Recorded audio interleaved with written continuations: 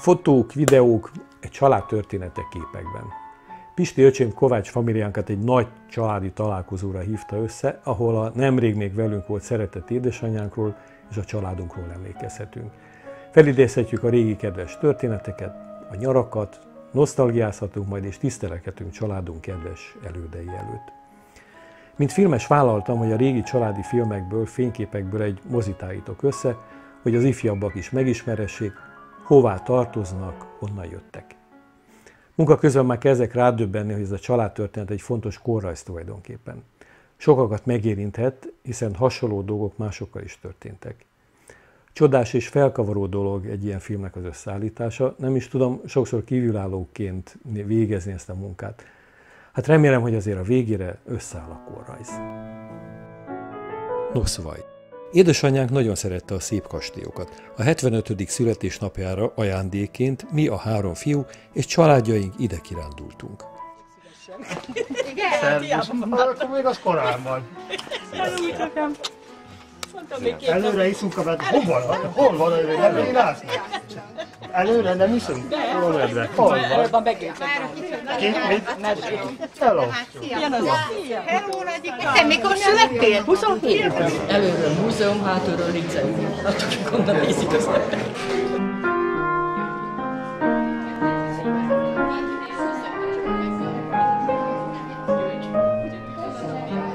kastély látogatás után az ottani kis vendéglőben ünnepeltük az évfordulót, és édesanyját, Magyikát meséltettük a múltról.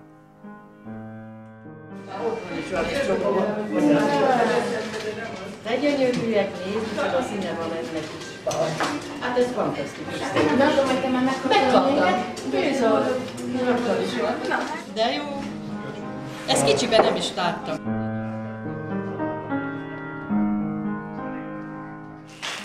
A végén elszáll, Nagyi. Fújj el! Mindjárt elfújtam. Elfújta magát. Na most egyszerre figyeljen. Minden Boldog szülinapot, boldog szülinapot, boldog szülinapot, Nagyi, boldog szülinapot. Nem ikassatok meg azért, ha nem születek meg, akkor ti sem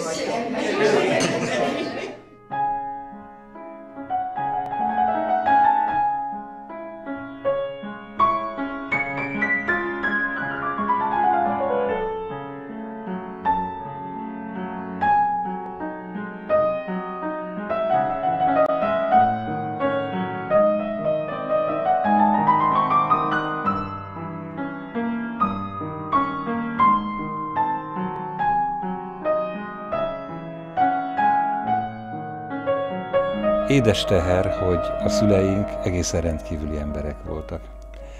Édesapánkra ugyanúgy büszkék lehetünk, mint édesanyánkra, de a büszkeség mellett a legfontosabb érzés az a el nem múló szeretet. És ez a szeretet kettejük kapcsolatából ered, amiből lettünk mi hárman, és amiből lettek a mi gyerekeink és az unokák, és majd jönnek a további generációk. És az ő szeretetük és szerelmük az legendás volt. Hát édesapa családjáról egy fénykép mond el talán a legtöbbet, ahol ott ül egy derék, agybajuszú, pirosposgás polgárember a fényképész stúdiójában, valamikor a 20. század elején. Mellette egy karosszéken egy klasszikus szépségű asszony, Előttük egy kisebb sámlin, rövid nadrágba, harisnyába, a kordivatja szerint öltönybe, egy nagyon szép tiszta arcú kis legény, kezébe könyvel, és mögöttük két nagyon jó arcú fiatalember áll. Hát ők a Kovács család. Baranyában, ahol édesapa született és ahol a Kovács család élt, Magyar Szent Iván településnek hívták, akkor aztán később nem sokkal királyegyházává keresztelték át. Nos, arra felé hosszú ideje parasztpolgárok éltek, ami azt jelentette, hogy viszonylag nagy területen gazdálkodó parasztemberek voltak, szükség szerint egy-két alkalmazottal, de általában ők művelték a földet, ők nevelték az állatokat, és nagyon büszkék voltak arra, hogy a legenda szerint a felmenőik között olyan kisnemesek voltak, akik annak idején Tálna török elleni hadakozás révén jutottak ahhoz a fajta nemességhez, ami a faluból nem volt kivihető, de nem tartoztak a jobb ágyi sorba. És ezek a parasztpolgárok általában kiváló gazdák voltak. Amikor mi, mint szeretett unokaöccsök jártunk királyegyházára, akkor még mutatták azokat az okleveleket, amelyeket az országos állatvásárokon Budapesten nyertek ők az állataikkal, lovaikkal, marháikkal, és mutatták azokat a földeket, ahol valaha ők gazdálkodtak. A három Kovács fiú közül a korszokásai szerint a legkisebb tanult tovább, ő lemondotta az örökségéről a tanítatásért cserébe, és hát először Pécsre ment, ahova bátyjai rendszeresen meglátogatták a Kék Elefánt nevű étterembe, hozták neki a hazait, aztán édesapa átkerült Pécsről Kalocsára, majd aztán a közelbe Sejjére került vissza. Az ő mintaképe még az a nagyon szegény falusi tanító volt, aki király egyházán hát részben a szülők adományaiból és részben az állam által csöpögtetett krajcárokból tengette életét, és édesapa ezt a hivatást választotta. Aztán szerencséje volt, hogy olyan faluba keveredett Sejje után, amely nagyon tehetős falu volt.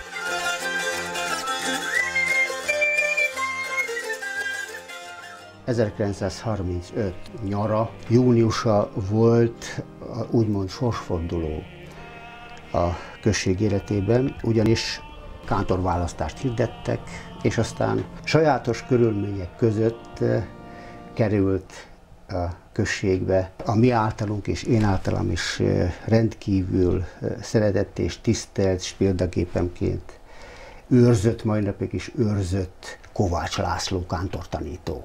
A népi mozgalom kialakulását gyakorlatilag ez időtől kezdve számoljuk. Volt tánckarunk, volt énekkarunk, volt nagyon jó, hát először egy cigányzenekar, népi zenekar, majd utána következőleg, hát ugye Kovács László hangszeres művelődési házi munkájának eredményeképpen egy csodálatos szép vonós zenekar is. 36-ban már egy évre rá a Turai Gyöngyös Bokréta már a budapesti eh, programban szerepelt. De nagyon sokan énekeltek, itt több százan vannak ezen itt a képen. Több százan vagyunk, itt egy nagy előkészítés volt neki, nagyon sok munkába került neki, hogy minket így összerendezzen, mert ugye hát háromfajta ruhába is vagyunk, ilyen fehérvarott kendő, meg kázsmérkendő, meg nagy kendő. És akkor, és akkor eh, három, mit tudom én, hány hangra voltunk, több hangra voltunk. Én megmondom a latin, hiszek egyet a Crédiumon. Szóval úgyhogy nagy esemény volt. Ővele nagyon jó volt dolgozni, így visszagondolok, hogy dolgozni, akkor gyereklány voltam, mit tudtam én, hogy munkai az, vagy micsoda, ugye. Nagyon sokan jártunk neki énekelni, nagyon sokan. Kántor úrnak csak egy szavába került az, hogy mi énekeljünk, vagy a lányok, én, vagy az iskola énekeljen amikor 1936-ban ide került, egy olyan gyémántot talált, amely többé-kevésbé csiszolatlan volt. Egy rendkívül gazdag kultúrájú falu volt, Tura már akkor is. Gazdag volt a szó anyagi értelmében is, mert mindig nagyon szorgos emberek lakták, és mint az köztudomású a századfordulótól a férfi emberek a vasútnál helyezkedtek el, majd a vonatról lelépve azonnal mentek is már kapálni az asszonynal, és ennek meg is volt mindig az eredménye. Emellett több évszázad alatt egy rendkívül gazdag, európai mércével mérve is kimagasló népi kultúrát alkottak, csiszoltak maguknak, amelyet azonban a nagyvilág nem nagyon ismert. Úgy gondoljuk és úgy gondolom, hogy édesapánknak oroszlán része volt abban, hogy nagyon hamar már a második világháború előtt a kor legnevesebb néprajzosai jöttek ebbe a paradicsomba, ahol csodálatos érintetlen kultúrkincset találtak névdalokban. Az egyik legjelentősebb felfedezés úgymond a dramatikus népi játékok, a Csáki Bíróné volt, emellett a himzése a mai napig számomra nem csak, hogy vetekszik a brüsszeli csipkével, hanem messze meghaladja azt. Mindezeket édesapa örömmel fedezte itt föl, és osztotta meg mindazokkal, akik segítségével aztán a nagyvilág is megismerhette. Az egyik kedvenc történetem, hogy tavaly Tokióból egyedül utaztam haza egy hosszabb tárgyalásról és alig repültünk egy negyed órát, a mellettem ülő korosabb japán úriemberrel már jócskán beszélgettünk. Kiderült, hogy a Japán Tudományos Akadémia Szociológiai Intézetében dolgozik, település kutatással foglalkozik, éppen Prága felé tartott, de hát mondtam, hogy én magyar vagyok, sajnálom, hogy nem felénk jár. Ó, azt mondja, Gödöllő és környéke a számára nagyon ismert, mert az egyik kedvenc kutatási területe. Boldogan közöltem, hogy turai vagyok, mire örömmel csapta össze a kezét, hogy hát milyen szép falu, és milyen szép az a barokk templom, milyen kár azért a gyönyörű szép eklektikus kastélyért, és mi van a meleg vízzel, és milyen szép az a hímzés. Ott voltunk 10 kilométer magasan a levegőbe egy ismeretlen Japánnal, valahol a koreai öböl fölött, és már kedves szülőfalumról beszélgettünk, és számára is a hímzés volt például az egyik legemlékezetesebb és legfontosabb dolog. És akkor némi örömmel gondoltam arra vissza, hogy ki tudja, hogyha édesapánk annak idején 1936-ban végképp lekési a kántor meghallgatást, mert hogy késéssel érkezett, ha végképp lekési, akkor nem, nem vagyok benne biztos, hogy ez a japán ember, és még sok-sok százezren, akik szeretik mindazt, amit Tura nyújtani tud. Lehet, hogy talán nem ismerték volna meg, vagy nem így.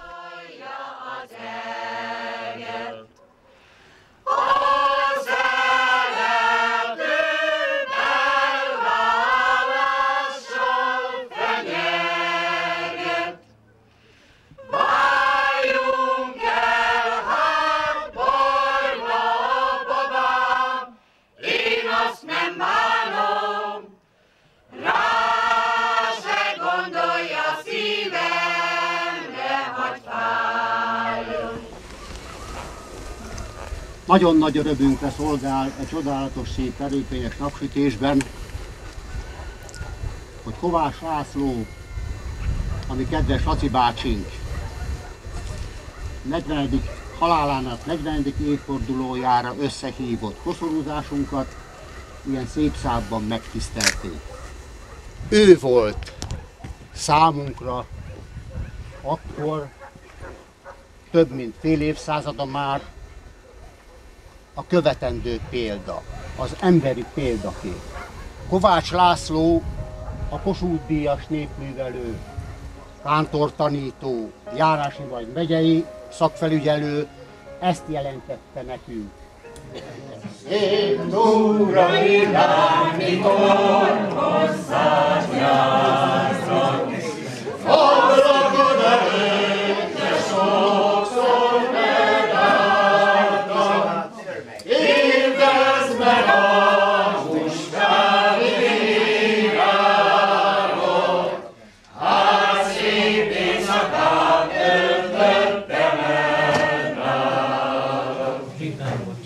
nekem az olyan szép emlék, Hát én persze őrzöm, nekem otthon van velem, a temetőbe, de piacon a vásárolok, ugye beszélgetek ebben abban, és úgy krumplit vettem a tavaszon, és akkor nem, nem ismer, a turai volt egy férfi.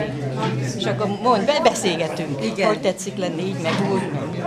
És akkor azt mondja, de jó hangja volt a Kántor úrnak is. Az egy, az egy úriember volt. Azt mondja, a feleségemmel beszéltük is otthon, hogy maga boldog lehet. Mert azt mondja, gyerekei is tanultak, szép család van. Nekem az olyan jó eset, hogy még emlékezik rá, és úgy emlegeti, hogy az egy úriember volt. És ahogy ő azt, ahogy mondta, nem az, hogy mert a kiöltözés, hanem belülről. Igen. Akkor a kultúr, itt a lakáskultúrában is vásárolok, és jön egy férfi, mondom, parancsoljon, hát én ráérek a nyugdíjba belefér. Azt mondja, én is nyugdíjas vagyok, ráérek, és az is kezdte mondani, milyen hangja volt, azt mondja Kántor. És azt mondja, az nem is valóra való volt, az olyan értékes volt. Nem tudom ki volt, de nekem olyan boldog napom volt, hogy emlékeznek még rá, és ilyen jó emlékeznek rá.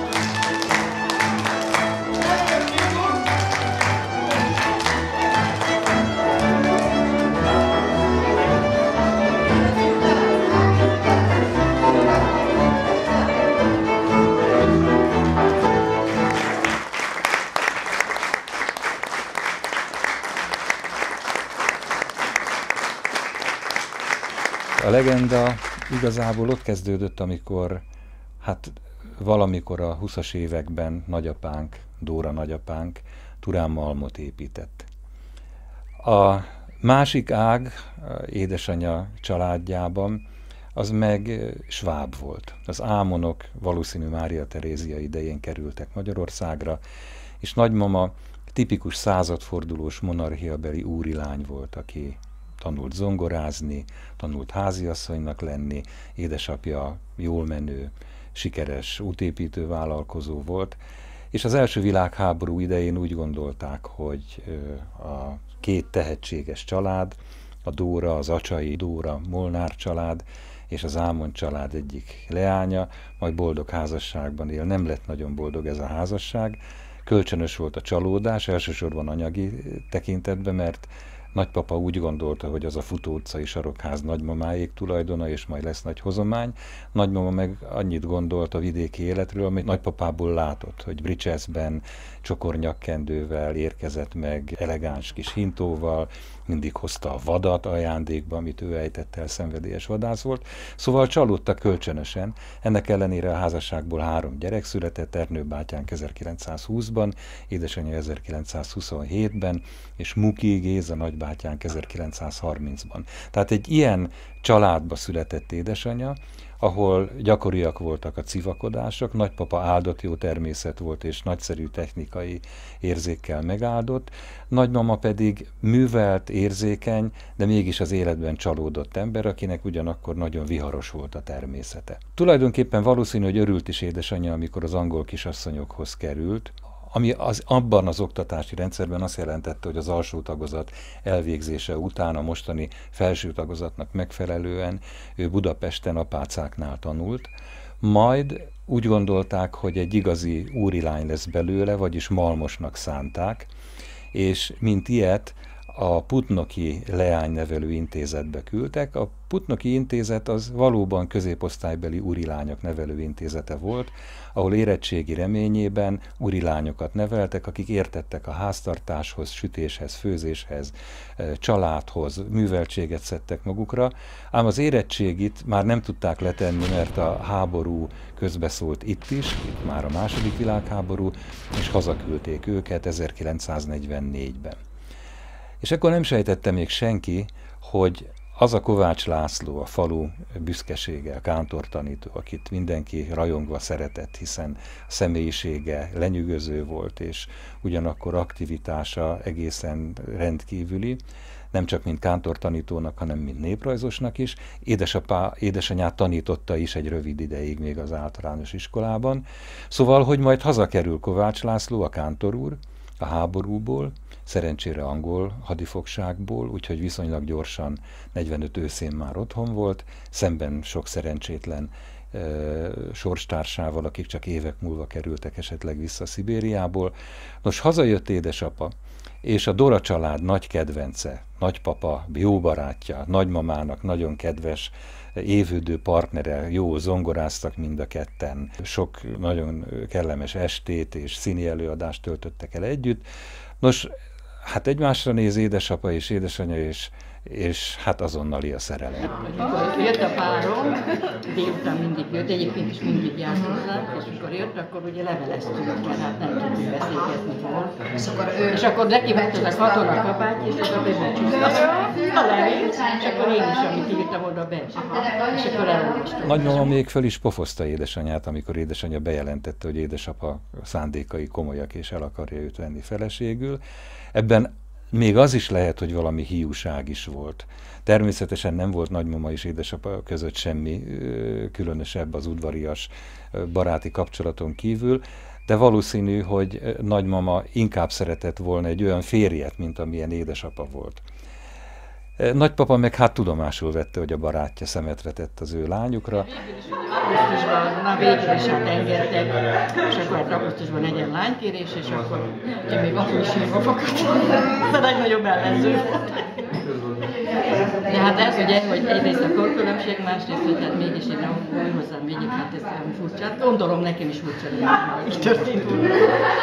De hát mi meg megszerettük Aztán így összejött. Egy olyan egészen rendkívüli és mindenkorban rendkívüli házasság első pillanatai voltak ezek, ami hát úgy gondolom, hogy mindenkinek példa lehetne, és nagyon sokat gondolkoztam évtizedeken át azon, és édesanyával is sokszor beszéltem, hogy mennyi a megszépítő messzeség szerepe abba, hogy ezt a házasságot ilyen legendásnak látjuk, és ö, mennyi lehet a szerepe annak, hogy egy kisgyerek nem biztos, hogy mindent úgy lát, hogy az a valóságban van.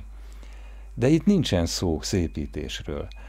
Bátyáimmal, Lacival és Pistivel is sokszor beszélgettünk erről, hogy egészen rendkívüli és hihetetlen, de harmonikus volt a kapcsolatuk az első pillanattól az utolsóig.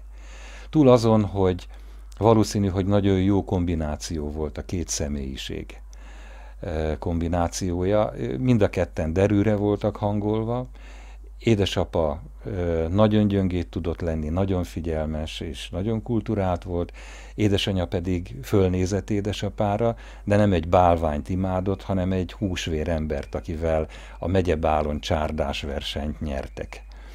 És édesanyja nagyon jól alkalmazkodott ahhoz a, meglehetősen rapszódikus életmódhoz, ami édesapái volt, hiszen a napi munkája mellett hétvégeken néptánccsoporttal, zenekarral foglalkozott, sokszor hétközben is, és az a családban teljesen megszokott volt, és később sokat fölemlegetett pillanat, hogy édesapa nem egyszer küldött haza a kultúrházból, ahogy hívták, gyereket, hogy Cinci néni, tessék még többet főzni, mert gyűjtek még ketten Pestről. Néprajzkutatók, tudósok, folkloristák, muzsikusok jártak hozzánk, és édesanyja nagyszerű háziasszony volt, és hát megszült bennünket.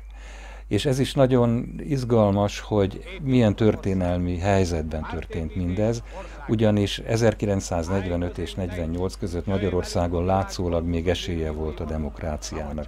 Édesapát megválasztották a katolikus iskola igazgatójának. Ám 48-ban, az akkori választások után a Moszkvából irányított kommunista párt vette át a hatalmat, mely üldözte a vallást, és édesapát, aki tekintélyes volt, szerették volna rávenni, hogy hagyjon fel a kántori gyakorlattal, de édesapa ezt nem tette meg, így áthelyezték olyan helyekre, ahova gyakran csak kerékpárral lehetett eljutni télen-nyáron 30-40 kilométert pedálozva, és ekkor már Laci és Pisti megvoltak. Ugye hát Laci 47-ben, Pisti 48-ban született, rövid egyéves különbséggel. És hát édesapa valószínű, hogy mai szemmel nézve poklokat járt, amikor az egyre ridegebb és egyre kegyetlenebb hatalom megpróbálja őt rávenni valamire, hogy adja föl a hitét, adja föl a hitéhez kapcsolódó gyakorlatát, és ezt ő nem teszi, mert következetes ember, és közben viaskodik benne a, a családapa és a férj és a családfő, mert hiszen az apósát a buzsúként pellengérezték ki, el, elvették tőle a malmát, amit ő maga épített, el akarták venni a házat, amit szintén ő maga épített, így aztán édesapa 52-ben föladta a kántori állást, és amikor ezekről a sötét évekről kérdeztem édesanyát, azt mondta, hogy ők boldogok voltak. Ő nagyon fiatal volt ahhoz, hogy mindent megértsen mindabból, ami édesapával történt. Lehet, hogyha 10-15 évvel idősebb, akkor lehet, hogy bele is roppan de édesapa olyan mesterien tudta kinhagyni a küszöbben az ajtón kívül a hétköznapi gondokat, hogy persze édesanyja a fiatal anya és ragyogó szépségű anya látott sok mindent a külvilágból, de azt a rettentő mélységet és szakadékot, ami ott leselkedett rájuk, és egy rossz lépés, és mindannyian belezuhantak volna, azt ő nem látta, mint elmondta később. És aztán a házasságban nagyon nagy fordulatot jelentett az, hogy a, a rendszer teljes abszurditására jellemző módon édesapa 1954-ben Kossuth díjat kapott, ami a egyik, hanem a legrangosabb kitüntetése volt. Akkor még nem választották külön az állami és Kossuth díjat, tehát nem csak művészek és a szellemi alkotók kapták, vájárok ugyanúgy kapták, mint Kodály Zoltán és Posztumusz Bartók Béla. Nos, hát elég kacskaringós legendák vezettek oda, meg események, hogy végül is Nagy Imre, a később kivégzett forradalmár miniszterelnök adta át édesapának a Kossuth díjat, ami ettől kezdve védettséget jelentett. És hogyha utána számolunk, hogy 54 tavaszán édesapa megkapta a Kossuth díjat, utána kivitték a Kossuth díjasokat a Szovjetunióba, az akkori Szovjetunióba tanulmányútra, és édesapa hazajött májusban, és akkor elkezdünk számolni, hogy május után 9 hónappal február van, amikor én születtem meg. Ugyanis a Kossuth díjattól kezdve úgy gondolták és joggal, hogy védettséget jelent nekik. És édesanyától tudom, hogy édesapa mondta, hogy kisanyja, hogy ha gazdagok lennénk, akkor mindig lenne kicsi a háznál. Egy szobában hárman elférnek, nem kell külön leányszoba. Így is történt. Teljesen beletörődtem, kisfiam. Magam játszottam ki magam, hogy babaszobát csináltam, nem emlékszel dobozokból, meg bekötöttem a fejet, főztél, ott lefőtéztem, kemény kalap, csokornyakkendő, semmi más nem volt rajta. Tehát nagyon szerette a gyerekeket is, nagyon szerette a családot édesapa, és bennünket is egyértelműen arra a gyöngétségre és szeretetre és figyelmességre nevelt, amit ő érzett édesanyja iránt, és ez úgy gondolom később a mi kapcsolatainkban is jelentkezett valamilyen iránytűként. Hát még a régi Dóraházban laktunk, emlékszem olyan anyák napi reggelre, amikor édesapa csendbe fölébresztett bennünket, kimentünk az ablak alatt, hatalmas nagy orgonabokrok voltak, szedtük mindannyian az orgonát, besettenkedtünk a hálószobába, és körülraktuk édesanyát orgonával, és édesapa leült az ongorához, és akkor ott énekeltünk. És hát ez 50 4-55 évvel ezelőtt történt, és olyan frissen él bennem, mintha most történne és számomra például a feleségemhez, a, a, az anyákhoz való viszonyban ez ugyanúgy meghatározó volt, mint oly sok minden más a hivatásomban és mi egyébben. Na most édesanyja nem csak ö, kiváló háziasszony volt, hanem nyilvánvalóan ö, olyan párja édesapának, akivel azért nagyon sok mindent meg tudtak beszélni. Azzal együtt, hogy amint mondtam, édesapa igyekezett a, a politika ö, rettentő híreit kívül hagyni a ö, családi ház ajtaján, de mindenképpen szellemi partnerek voltak.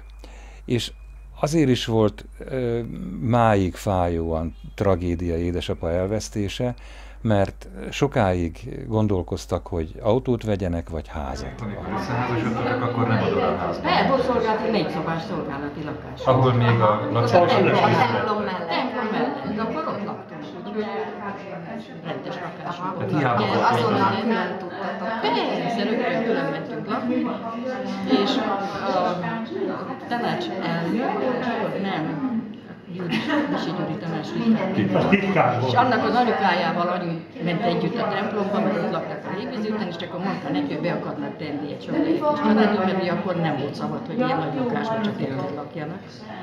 De ha mi hazamegyünk, akkor ugye tele lesz a ház, és akkor nem tesznek be senkit. Hát gondoltuk, mit tart egy pár évig aztán addig kibírjuk, úgyhogy. Nem volt jó együtt lakni a Dora házban. Nagymama nehéz természete eredményeként édesanyja, aki nagyon csendes volt, nagyon nehezen vagy egyáltalán nem tudott embereket megbántani, és nem volt konfrontatív alkat, miközben egyenes volt a gerince.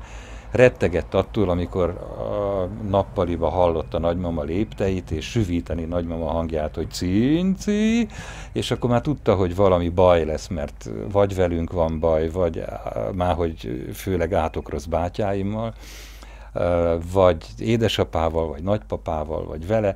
Szóval nem volt jó ez az együttélés. Amikor valamikor négy éves gavallérként közöltem vele, hogy nyilvánvaló, hogyha én meg is nősülök, akkor ő majd velünk fog lakni.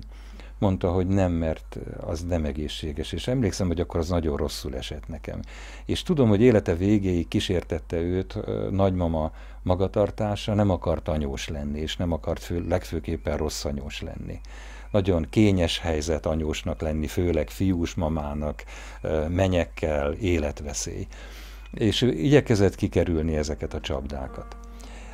Amikor az a rettenetes éjszaka ránk köszöntött, amikor nagybátyánk jött, hogy édesapa meghalt, akkor mindannyian megdermettünk, de legfőképpen édesanyának kellett, hogy megnyíljon alatta a föld.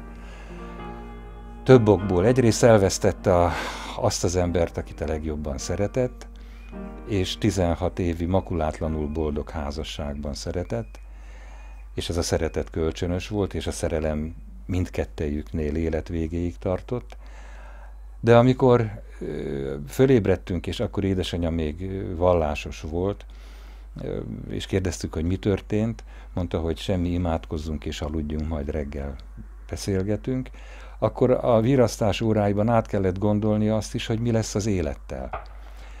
Hiszen nem nehéz belegondolni, hogy mit gondolhat az, aki 35 évesen egyik pillanatról a másikra magára marad, mert megözvegyül.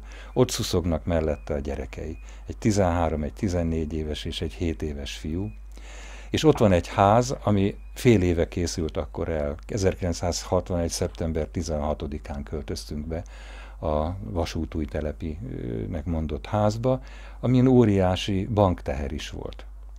És édesanyja egész odáig nem is dolgozott. Teljesen természetes volt, hogy édesapa el tud bennünket tartani, és édesanyja nem megalázónak tartotta a családanyai tevékenységet, hanem természetesnek.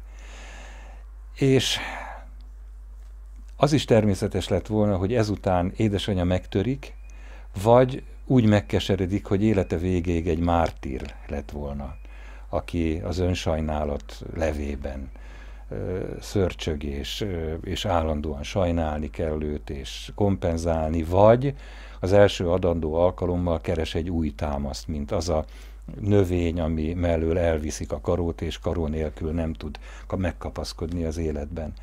Ehhez képest édesanyát sírni nem nagyon láttuk.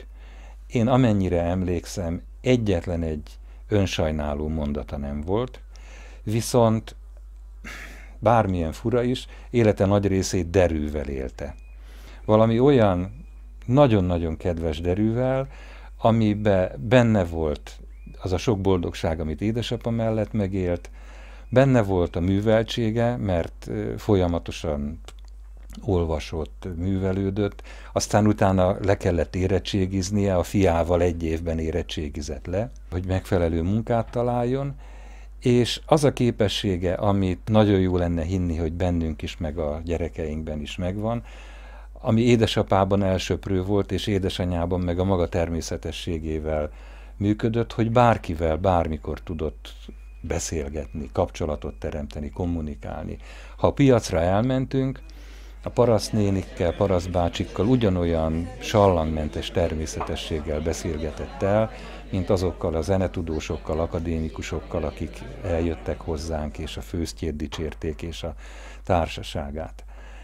És hát példa, inkább mondom, ő is iránytű e tekintetben.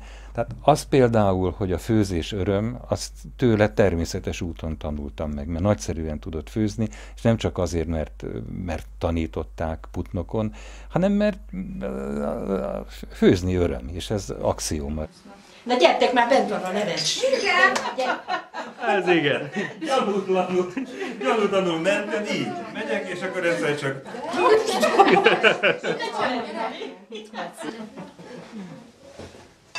Ott van, nagyon szép és nagyon jó. Az ünnepi. De van ám milyen gyönyörű, szép. Gyüm, azt is fotózni a gyümölcslevest. Ugye milyen szép színe van? Mert tudjátok, elárulom a titkot, mostanában én is, hogy pudingporral sűrítem be. Krumpli. Ó, krumpli.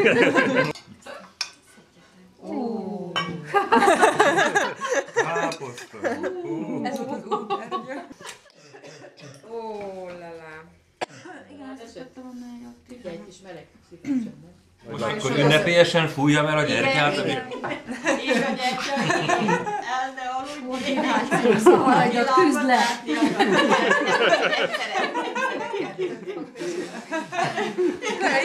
Szomszéd. Éljen! Éljen az ünnepelt!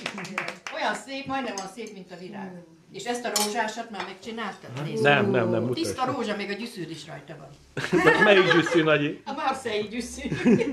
És azt is tőle tanultam meg, hogy az ember ne füllentsen. Hogy jaj, de eltoltam, jaj, úgy gondoltam, hogy jó lesz, de hát, na, ki is kellett öntenem, te bolond vagyok. És ö, ugyanakkor meg ö, távol áll tőle az öndicséret is. És ezzel együtt, hogyha valami jót főzött, vagy jót sütött, akkor ú, de jó lett ez, jó csülök, milyen jó lett a, a bőre. És ez az öröm, ez az életöröm, ami kizárta a férfi partnert 35 éves korától, mert meg nem fordult a fejében, hogy lehet bárki is, aki édesapát pótolni tudná.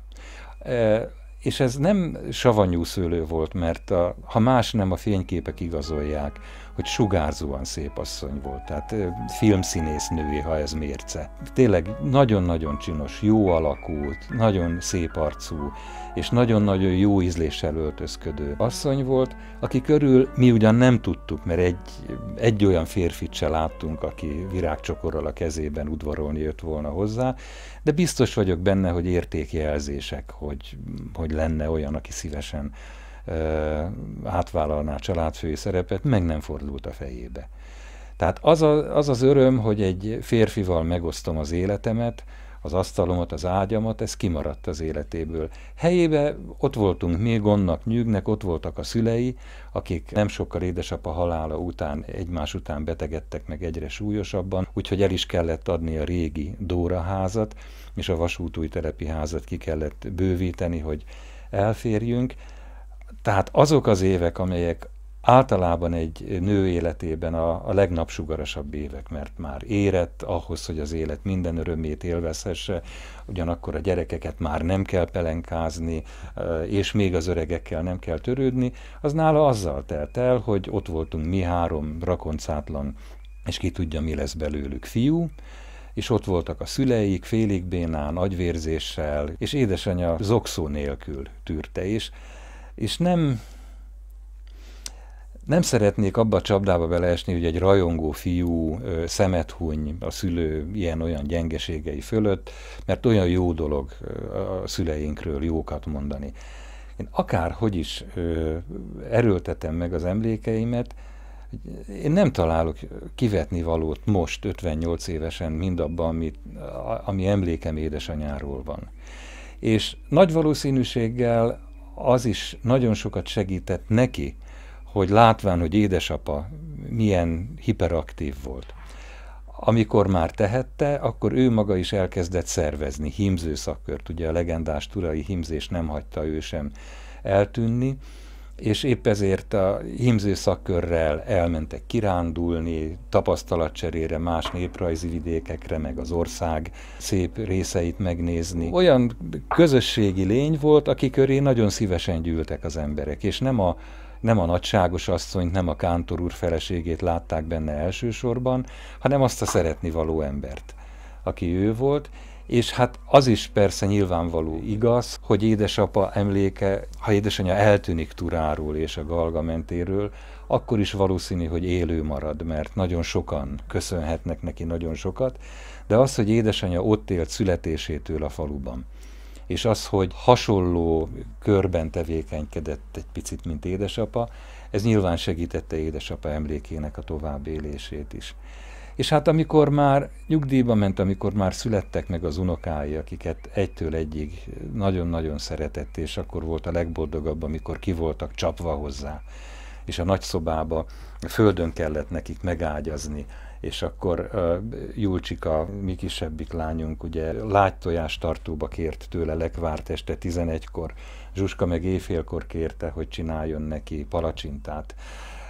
Legboldogabb volt és boldog volt, amikor ott hagytuk a lányainkat, és akkor csavarogtak velük a bekébe, ugye a Honvéd utca végén kezdődő lápos, tőzeges mezőn. Szóval, hogy azt tudjuk, hogy a lányainknak milyen nagyon-nagyon sokat jelentett az ő, hát mondjam, az tyúkanyós lénye, hogy, hogy mennyit tanultak tőle, és és olyan örömmel látjuk a, a lányainkban édesanyja mozdulatait, meg gondolatait, meg, meg azt a módot, ahogy gondolkodott a világról, meg az emberekről. Mert kisültem már kalácsony. Na, kis, kis karácsony, nagy karácsony, kisülte már a kalácsom, ha kisült már ide véle, Hadd egyen meg meleg. Hogy hogy szeretett császtonozni? Meg azt mondta, hogy ha majd meghal, akkor a lábait majd úgy kell utána vinni, mert még akkor is táncolni fognak. És tényleg, ha valami bajom volt, akkor mentem hozzá Turára, és akkor császtonoztunk egyet, vagy játszottam valamit a zongorán, vagy amikor a 2000-es rákműtétje volt, és akkor megszerveztük, hogy az unokák ügyeletbe lesznek nála, és egy nap Julika volt az ügyeletes, és mesélte, hogy hát ott a kis szobában, ahol Nagyika szokott aludni, hát édesanyja föltett valamilyen Louis Armstrong kazettát, de elaludt. És akkor Julika a fotelban ült és olvasott, vigyázott nagyra. Akkor egyszer csak arra lesz figyelmes, hogy a két lába a zenére mozog tíz nappal a rákműtét után. Hogy, hogy tényleg, hogy hogy, hogy, hogy rakta össze a teremtő ezt az embert, hogy,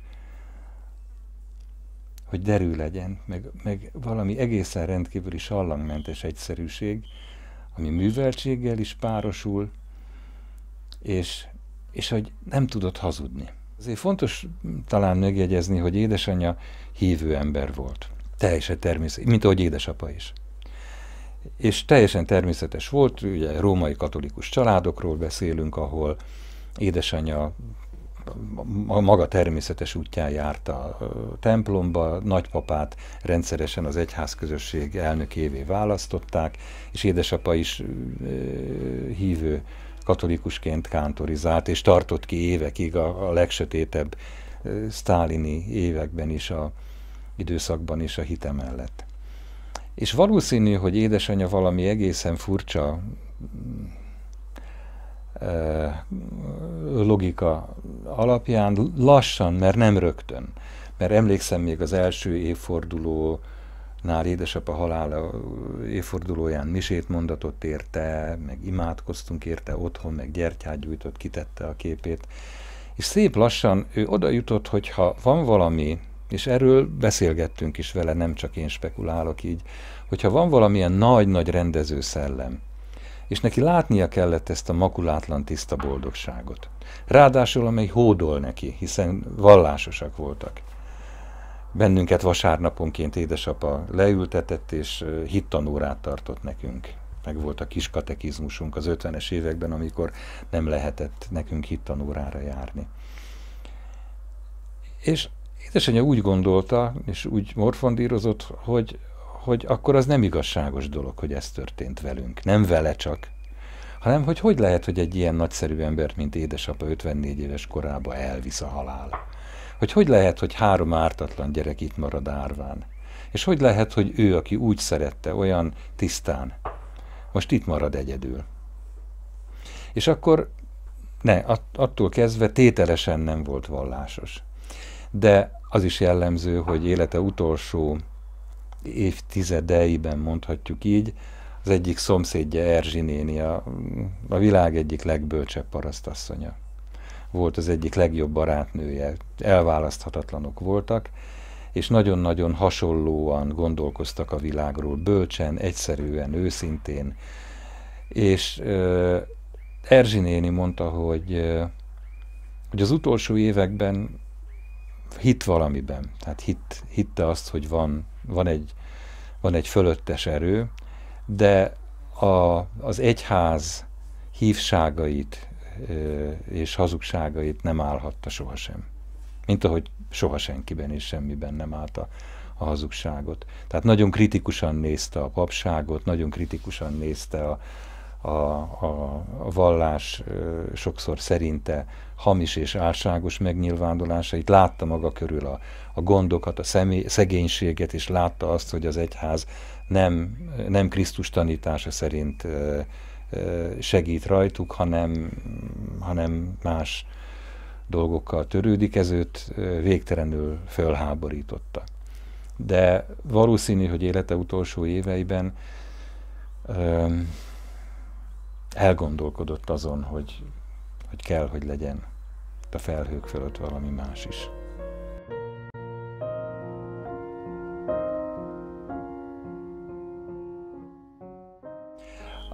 Amikor édesapa megkérte a kezét, akkor az ő édesanyja, Turcsin, született Turcsin Veronika, Kovács Józsefné, Amsika, akit én már nem ismerhettem, nagyon szép, a fényképek alapján gyönyörű, ezüsthajú, magas homlokú, szép asszony volt, eljött urára megnézni jövendő mennyét, megnézte, beszélgetett vele, majd utána közölte a legkisebb fiával, hogy elveheti. És valószínű, hogy Mamsika sokat tudott, mert az emberekről is, mert e, ugyan nem sokáig írt, ha jól emlékszem, ő 54-ben halt meg, de nem kellett volna csalódni a édesanyába semmiféle tekintetben, ugyanis abban a családban, édesapa családjában, akik parasztpolgárok voltak, az megszokott és természetes dolog volt, hogy télen, amikor kevesebb munka volt, akkor olvastak szakirodalmat, meg szép irodalmat. Úgyhogy amikor én kamaszként királyegyházára eljutottam, a drága emlékű Lajos bácsi, meg Imre bácsi bármikor leiskoláztak bennünket magyar irodalomból, Petőfiből, Aranyból, Móriczból, de még Tolstoyt is olvastak, és nyilvánvaló, hogy hogy ők nagyon méltányolták volna azt, hogy édesanyja nagyon olvasott volt. Ebben is ösztönösen működött, mert otthon is ugyan volt elég sok könyvünk, de a könyvtárnak rendszeres látogatója volt, és kihozott rendszerint 6-8 könyvet, amelyekkel rendszerint végzett is, de volt olyan, amit a 15. oldal után abba hagyott, az ő kritikai érzéke az diktálta, hogy ezt a könyvet félretegye.